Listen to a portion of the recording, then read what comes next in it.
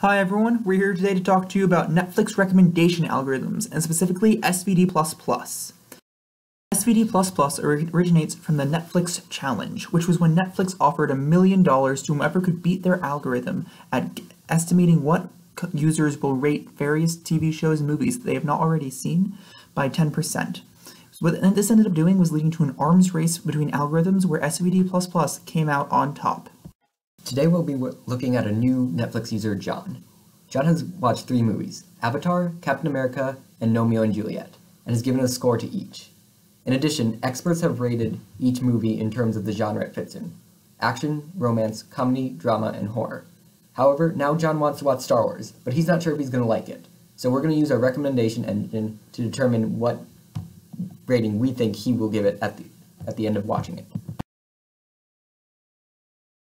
start off with, we construct a matrix of users and movies. John being new to Netflix has only seen a few movies, and because the library of Netflix is so massive, not everyone can watch all the movies, of course. Thus, we create a sparse matrix, with only several values of the entire grid filled in. Our job is to complete the other um, cells in the grid. This is what the recommendation engine does. To start off with, we start with a baseline model, which only uses explicit data, ratings that have already been given, to construct it we use three primary values, mu, b of u, and b of i. Together, they form BUI, which is the rating given for a certain movie for a certain user. In order to get the average mu for all of Netflix's scores, what we need to do is we need to first sum all of the values and then multiply them by the number of movies and TV shows which are being rated, which in this case is 4. Once we get this, you get the mu value of 3.5 for the entire set let's solve for BU. So let's bring up John's scores again, and let's compare it to the mu 3.5. You can see the differences here are negative 1.5, 1.5, and 0.5 from the difference. Therefore, in order to solve for the BU, you sum the differences and divide by the number, which in this case gives us the value of 0.5.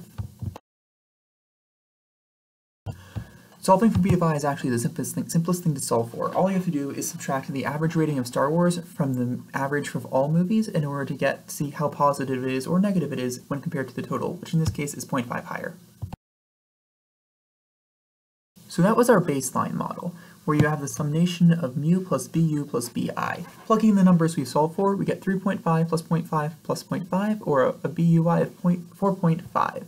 However, this is not what we want in the end. What we want is a better model, which is why we have a first pass to try to improve these results. BUI now also takes into account how what the user likes and how it's similar to features in various movies. The similarity portion is QI transpose times PU, with Q of I being movie features and PU being user features. You can see a quick example of what we will be using for this on the bottom right corner now. So let's solve for QIT first, looking at Star Wars. So if we break it down, we can see approximately 0.8 of Star Wars is action, 0.1 is romance, 0.1 is drama, and 0 are comedy and horror apiece. PU is a user's interest in each type of theme. For now, it will be given to you as can be seen. However, if you wish to see how it's derived, you may look at our paper. So what did our first pass model come up with?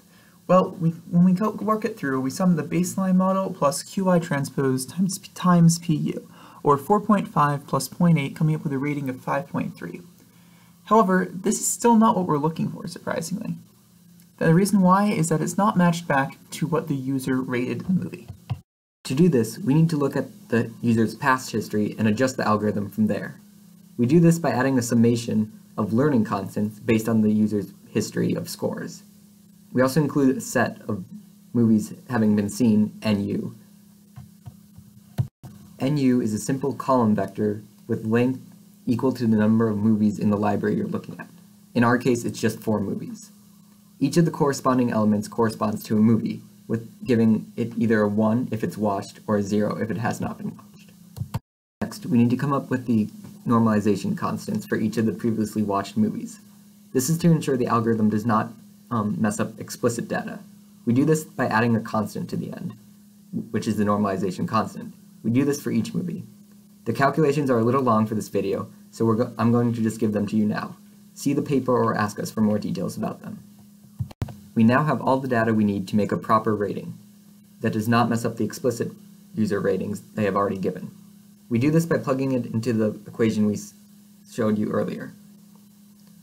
By iterating over the new learning constants and multiple, by using it as a scalar for the movie features, we get a, a vector of the same length as qi, which we can then transpose and dot to get us another value to add to our original baseline score. We end with a much more reasonable rating of 4.79, which when looking back at the data makes sense. John's pro user profile has a 0.9 preference for action movies, and Star Wars is a pretty action-heavy movie. We also know that Star Wars was well liked by the Netflix community, so its high score makes sense. Thanks for watching, and if you want to learn more details, please look at our paper or talk to us in person. Thanks.